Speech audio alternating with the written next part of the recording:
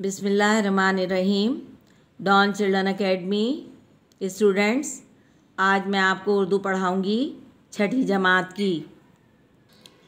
Page number sixty four खोलिए। सबक है साइंस के करिश्मे।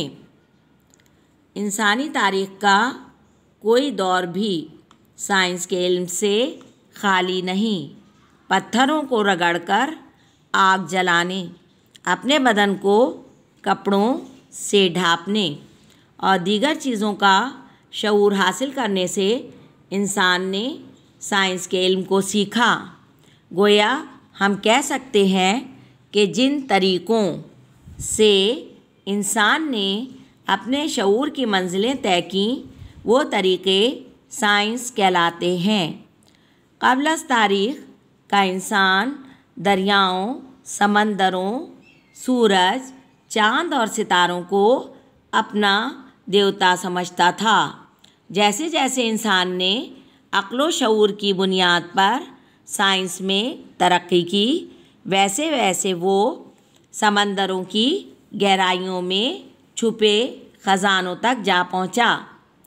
ज़मीन के सरबस्ता राजों से पर्दा उठाने के बाद चाँद तक रसाई हासिल की और आज मरीख और दूसरी दुनियाएँ इंसान की तस्खीर में हैं। इंसान ने साइंस की वजह ही से समंदर की तह में उतर कर और ज़मीन के सीने को चीर कर उसमें से सोना, हीरे, मोती और दीगर कीमती मादनियात दरियाफ्त की और यूँ अपनी ज़िंदगी को पुरआसाइश और सहल बनाने का फरीज़ा अंजाम दिया।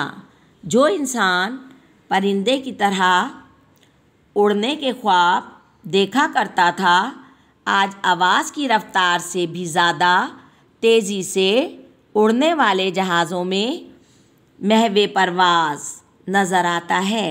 ये इसीलिए मुमकिन हुआ कि इंसान ने हर दौर में साइंस के इल्म को आगे बढ़ाने की कोशिश की। अपनी साइंसी ईजादात के सफ़र के आगाज़ में इंसान ने पहिया दरियाफ्त किया। तो एक इनकलाब बर्पा हो गया। महज सफ़र की सहूलतों के एतबार से ही देखा जाए तो आज का इंसान, माजी के इंसान से कोसों आगे नज़र आता है। ऊँटों, घोड़ों, गधों और दूसरे जानवरों पर सवारी करने वाला इंसान सफरी मुश्किलात का शिकार था। एक जगह से दूसरी जगह पहुँचने में उसे कई कई दिन लग जाते थे। आज के इंसान ने साइंस की मदद से बसें, कारें, रेलगाड़ियाँ और हवाई जहाज़ बना लिए हैं, जिनसे दिनों का सफ़र घंटों घंटों का मिनटों में तय करना मुमकिन हो गया है। आज दुनिया का कोई शहर और माशरा साइंस के इन सम्राट से किसी तौर से चश्मपोशी नहीं कर सकता। बाहमी रबता हमेशा से इंसान की दिली आरज़ू रही है।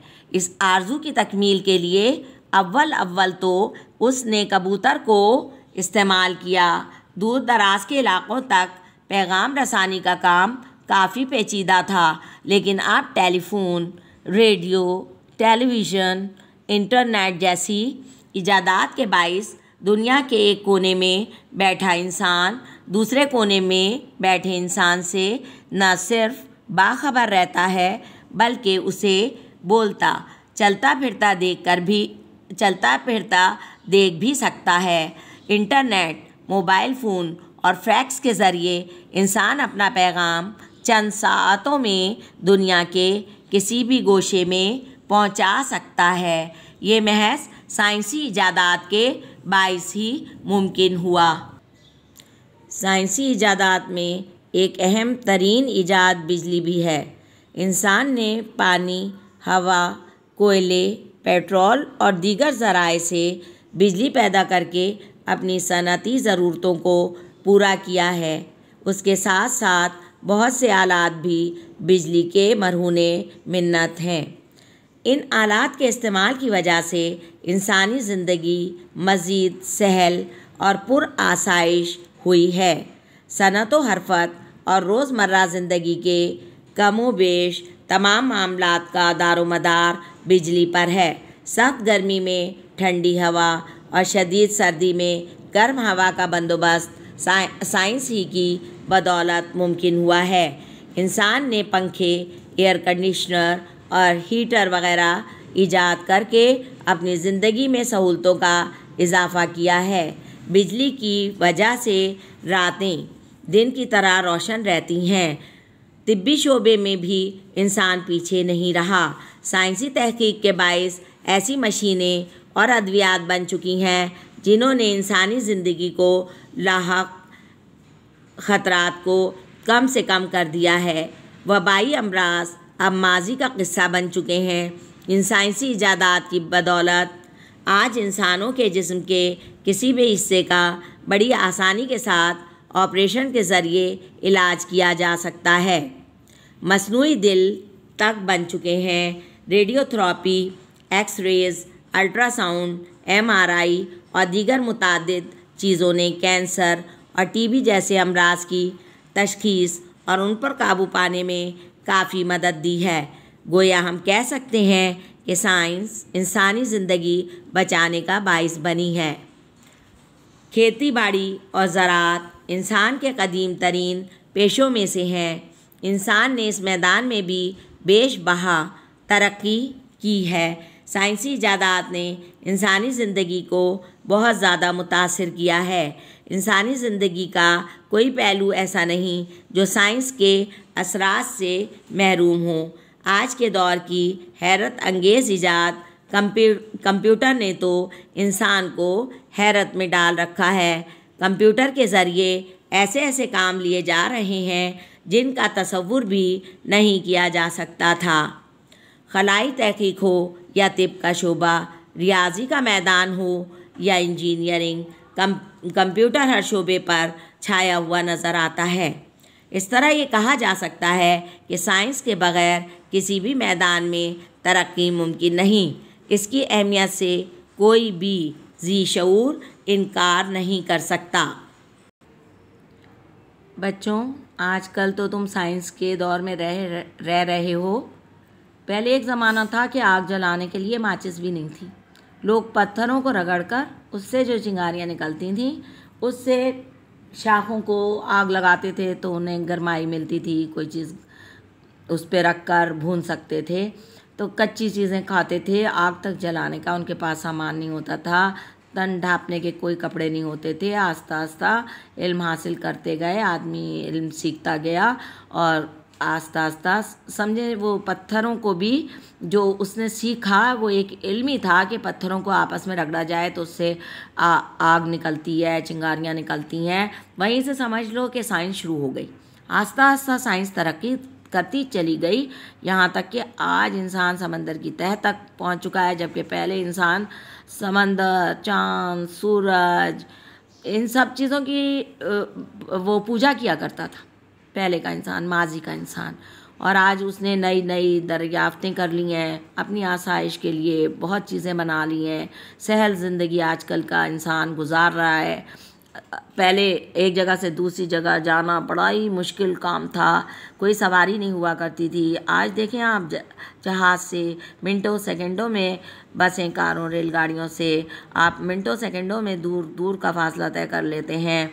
आप टेलीफोन के ज़रिए, रेडियो के ज़रिए, टेलीविज़न के ज़रिए, इंटरनेट के ज़रिए दूर बैठे पूरी दुनिया के कोने कोने से आप बाखबर रहते हैं। बिजली भी एक अहम ईजाद है। बिजली से आप देखें, आप रात को अंधेरा नहीं होता। आप रात में भी जो काम चाह रहे होते हैं, आप कर लेते हैं। इसी तरह सनत व हरफत में इतनी ज़्यादा तरक्की हुई है, इतनी मशीनें बन गई हैं। आपको गर, गर्मी नहीं लगती एयर कंडीशन आप चला लेते हैं, सर्दियों में आपको सर्दी नहीं लगती, आप हीटर ऑन कर लेते हैं। हर मरज़ की अद्वियात बन चुकी हैं, हर मरज़ को जांचा जा रहा है, तिब्बी शोबे में इंसान ने बड़ी तरक्की कर ली है। रेडियोथेरापी एक्स रेज़ हैं अल्ट्रासाउंड है एम है। इससे मुख्तलिफ़ बीमारियों का पता चल जाता है। अद्वियात हर चीज़ की आ गई हैं। खेती बाड़ी के और ज़रात के नए औज़ार आ गए हैं। पहले इंसान खेत में खुद हल चलाता था, इतना टाइम लगता था। आज ट्रैक्टर की ज़रिए काम हो जाता है, मशीनों से बीज बो लिए जाते हैं, मशीनों के ज़रिए फ़सलें काट ली जाती हैं। कोई ज़िंदगी का ऐसा पहलू नहीं है जिन, जहाँ साइंस के असर ना अभी तक पड़े हों। और सबसे अहम ईजाद जो है, वो साइंस के शोबे में, वो तो कंप्यूटर है। हर चीज़ कंप्यूटर से मिनटों, सेकंडों के अंदर तुम हर चीज़, हर शोबे, हर जगह हर चीज़ को तुम मालूम कर सकते हो। जो मालूम हासिल करना चाहो, कंप्यूटर के ज़रिए तुम हासिल कर सकते हो। अब ये कहा जा सकता है कि साइंस के बगैर किसी भी मैदान में अब तरक्की मुमकिन ही नहीं है। साइंस की बिलाशुबा बड़ी अहमियत है। स्टूडेंट्स, पहले आपको काम दिया गया है, वो स्कूल में लाकर जमा कराइए, अपनी मिस को दीजिए।